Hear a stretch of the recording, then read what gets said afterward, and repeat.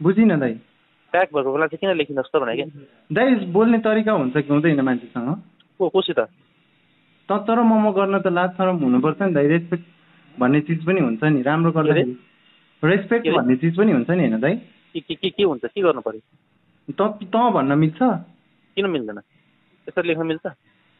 मिल्दैन त? मान्छेको मैले गएर लेख हेरेको छु त्यसपछि मसँग फोटो छ भनेदेखि किन मिल्दैन त?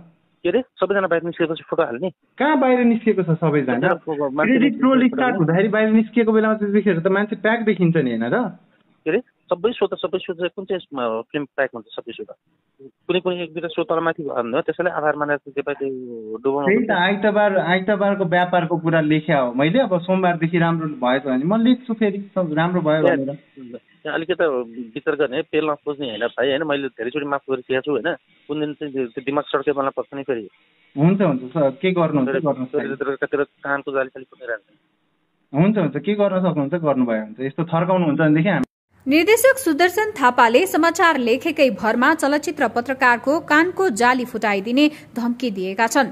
उनले आफू निर्देशित फिल्म सम्हालिन्छ कहिले मनले हलमा राम्रो व्यापार नगरेको आशय सहित समाचार लेखेका सुजन श्रेष्ठको कानको जाली फुटाइदिने धम्की दिएका हुन्। एक अनलाइन खबरलाई प्राप्त अडियोमा उनले सुजनलाई फिल्म चलेको बेलामा समाचार नलेखेको तर सो सकिएपछि गलत मनसायले समाचार लेखेको भन्दै कुटपिट गर्ने धम्की दिएका छन्। सुजनले टिकट फ्री हुँदा पनि हल सुनसान भन्ने शीर्षकमा समाचार लेखेका थिए। यो समाचारपछि सोमबार साँझ चार बजेतिर सुदर्शन थापाले आफूलाई फोन गरेर धम्क्याएको सुजनको आरोप छ। शुरूमा उहाँले राम्रैसँग कुरा गर्नुभएको थियो तर पछि गाली गलोज गर्न थालेपछि मैले प्रमाणका लागि अडियो रेकर्ड गरेको हुँ। समाचार लेखेकै भरमा गाली गलोज गर्नु जायज नलागेपछि सार्वजनिक गरेको हुँ सुजनले एक अनलाइन खबरसँग बताएका छन्। उनले निर्देशक थापाले आफूलाई गाली गलौज गरेको विषयमा चलचित्र पत्रकार संघका अध्यक्ष दिनेश सेटौला र पत्रकार महासंघ प्रदेश कार्य समितिका अध्यक्ष वैकुण्ठ पराजुलीलाई मौखिक रूपमा जानकारी गराइसकेको र सल्लाह गरेर कानूनी प्रक्रियामा जाने कि नजाने भन्ने सम्बन्धमा निर्णय हुन बाँकी रहेको बताएका छन्। म छलफलकै क्रममा छु। उहाँसँग सल्लाह गरेर कानूनी प्रक्रियामा जाने कि नजाने भन्ने विषयमा निष्कर्षमा पुग्छु उनले भने सुजनले नौलो न्यूज डट कममा समाचार लेखेका थिए। प्रस्तुत छ चलचित्र पत्रकार सुजन श्रेष्ठले लेखेको समाचार जस्ताको तस्तै। गत शुक्रबारबाट प्रदर्शनमा आएको फिल्म सम्हालिन्छ। कहिले मनले राजधानीमा शुक्रबार र शनिबारको व्यापार राम्रै गर्यो तर मफसलका हलहरू त सुनसान नै थिए।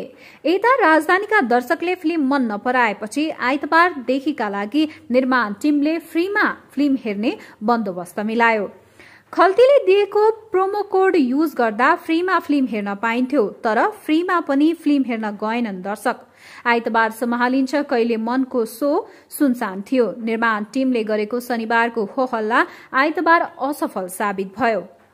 जे हो सँगसँगैमा रिलिज भएको झिङ्गे दाउले भने दाउ लगाइरहेको छ। वर्ड अफ माउथ निकै राम्रो भएपछि यो फिल्मले आइतबार पनि राम्रो व्यापार गर्यो। अहिले दर्शक फिल्म हेरेर रमाइरहेका छन्। फिल्मले रुदा रुदै हँसाउने र हाँस्दा हाँस्दै रुवाउँछ भनेर दर्शकले प्रतिक्रिया दिइरहेकाले फिल्मको व्यापार खस्किएको छैन। तर सम्हालिन्छ कहिले मनको भने हरिबिजोग जस्तै छ। आजसम्मकै हाई मेकिङ नेपाली फिल्म भनेर सुदर्शनले गफ लडाए हो कि भनेर दर्शकले पत्याए पनि तर फिल्मको भने हरिबिजोग जस्तै छ। सुन्दर दृश्यमा रेड क्यामेरा तेर्साउँदैमा हाई मेकिङ हुँदो रहेनछ सुदर्शनजी।